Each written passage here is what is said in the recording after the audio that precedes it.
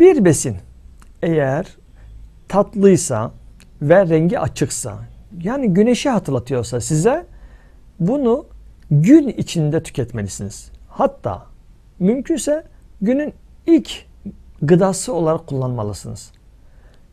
Bir ürün koyuysa, morsa, siyahsa onu da doğal olarak bu cümlemden anlaşılır ki onu da akşama teslim etmeli. Akşam yemelisiniz. Şimdi nedir?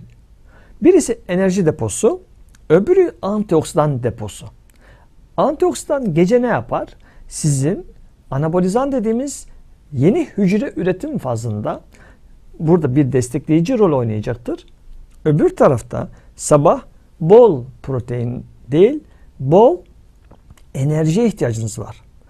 Ama enerjinin yönetilmesiyle ilgili bir kural vardır. Yani bir enerjiyi hop diye yüklerseniz vücuda o sizde birkaç saat sonra hormonal sistemlerde yapacağı karmaşa yüzünden halsizleşmenizin sebebi olur.